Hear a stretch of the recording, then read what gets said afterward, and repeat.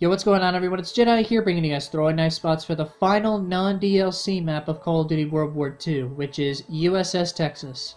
Now, in case you're tuning into my spot videos for the first time here on World War II though, you will need the Expeditionary Division equipped on your class, and it needs to be leveled up to be at least level 3, that way you can have the strong arm effect on your throwing knives.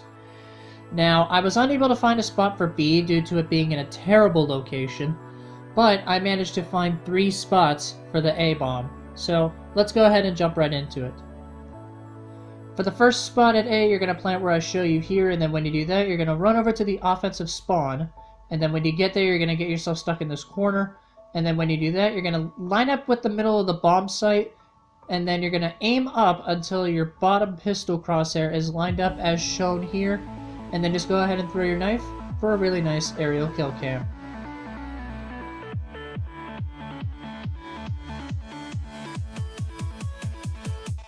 For the second spot, you're going to plant on this corner here, and then when you do that, you are going to run over to the defensive spawn this time.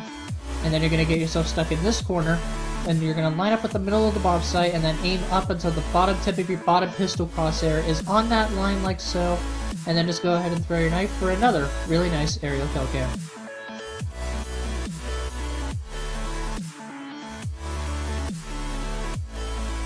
For the final spot of the video, and for the spot videos on non-DLC, you're going to plant where I show you, and then when you do that, you're going to get yourself stuck in this corner here, and then you're going to crouch down, and you're going to see this mark that's split in the middle.